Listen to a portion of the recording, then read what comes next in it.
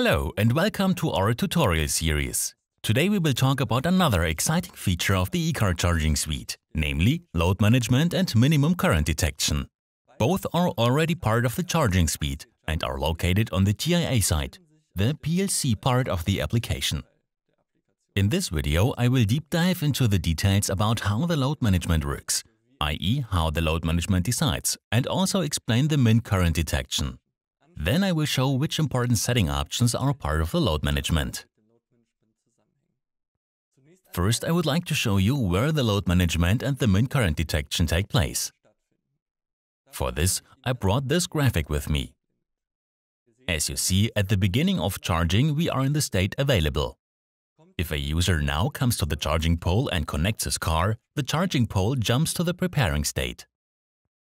If the user is now logging in, a transaction is started and the charging pole goes to the charging state.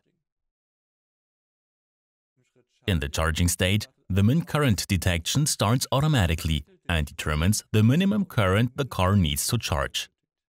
We will later see exactly how it is done. Once the min current detection is complete, the load management starts to work with the car and determines how much electric power is available. Now that we know where the two functions take place, I will go into more detail about the individual functions. The min current detection target is to find out how much current must be supplied to the car as a minimum. Some cars have a certain threshold value. If this value is not reached, they'll end up in an error state. To eliminate these errors and to avoid it, we included the min current detection. This starts with a very high current value, which is transmitted to the car, and then it checks whether the car is still charging or not. It then regulates the current further down and checks again and again whether the car is still being charged. If this is not the case, it remembers the last current that could be supplied, at which the car was still charging and ends the action. The load management is then switched on. The sense behind the load management is to distribute all the electric power that the station has available and to ensure that as many cars as possible are being charged evenly. There are three scenarios for this, which the load management distinguishes between. The first scenario that the load management checks is that there is enough power available to supply all cars with the maximum amount of power.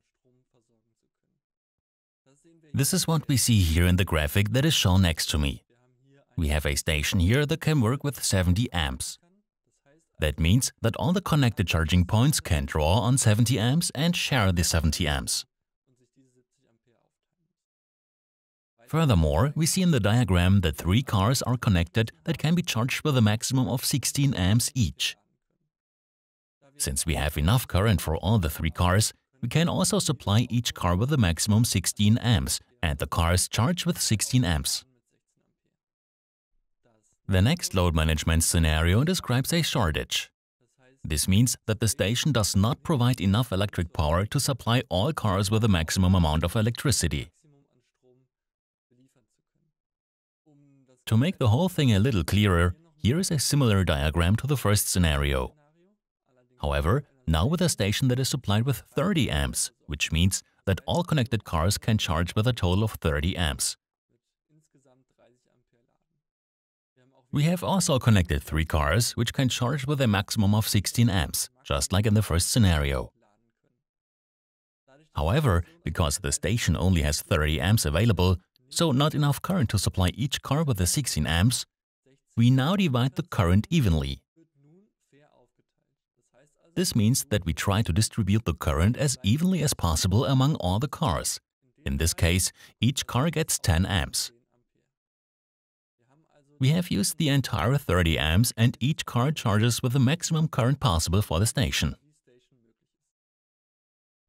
In the last scenario for the load management, the station does not have enough current to supply each car with its min current. This means that the previously detected min current of the car still plays a role here.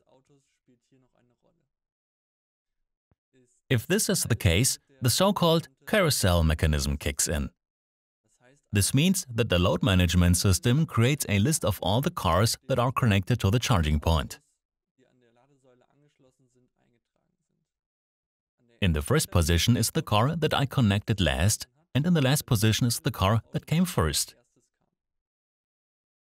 The load management now tries to supply the min current of the car in the first place. Then it goes to the second place and tries to deliver the min current there as well. It does it until the station has no more current available. After a certain amount of time, the load management rotates through the list and redistributes the power across the cars.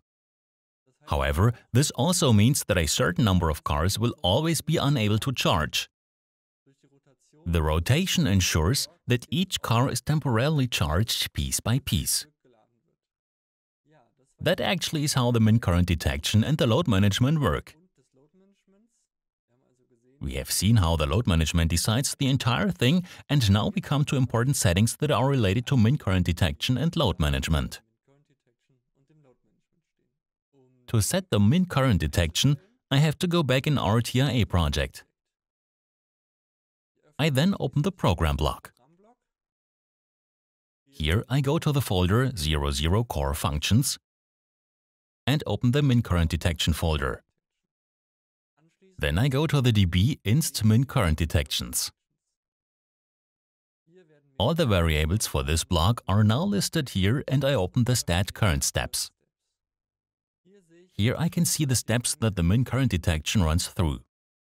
If I want to change these steps, I just enter new values here. It is always important that the highest value is in the first place. Now I can set the values for the load management. To do this, I have to go back to my configuration JSON. Here I now have two values that are important for load management. On the one hand, there is the connector max current. The logical limit for the station and for the connectors is entered here. In this case, 0 always means that this is the value for the station. So my station now has 320 amps available and each connector is logically allocated 16 amps. The second important value is the installation max current. Again, the value is divided once for the station and once for the connectors. These were the important values for our load management. So we have now seen the load management is the perfect tool to manage the station's existing power as efficient as possible. In the next video, I will show you how you can expand the existing repertoire of functions of eCar Charging Suite with your own function as easily as possible and still stick to our structures. Thank you for your attention and see you in the next video.